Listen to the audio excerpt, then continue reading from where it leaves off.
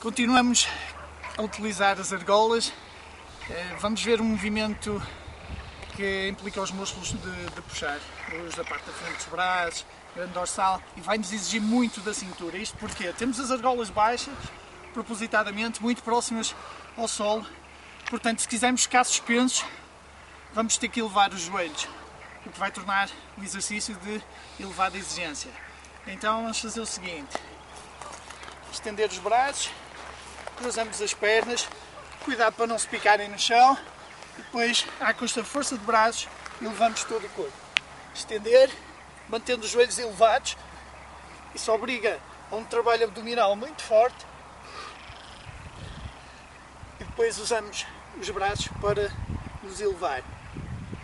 Exercício avançado, grande exigência, mas garanto-vos, daqui para cima o vosso corpo vai ficar muito forte.